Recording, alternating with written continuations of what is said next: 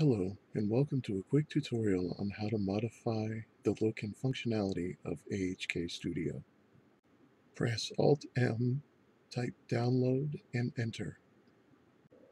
The two plugins you're looking for are Theme and Manage Toolbars. Then click Download Checked and Escape. Press Alt-M, MT for Manage Toolbars.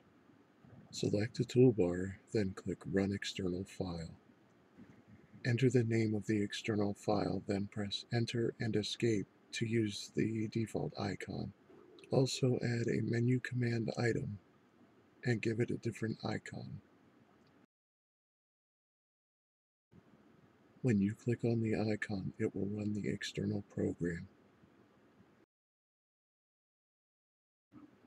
And the other will run the internal command.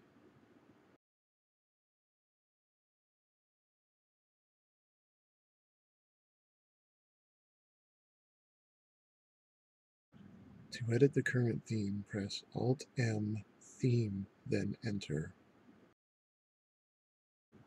Resize the window to show more of the options tree view. Then click on Download Theme, then choose a theme. If you want to change an individual color, you can change them by clicking on the text and choosing a new color from the dialog.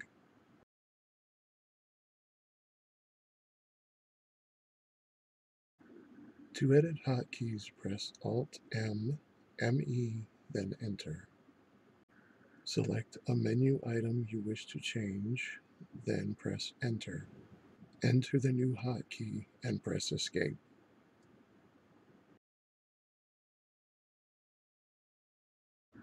Press the new hotkey and it will run the command.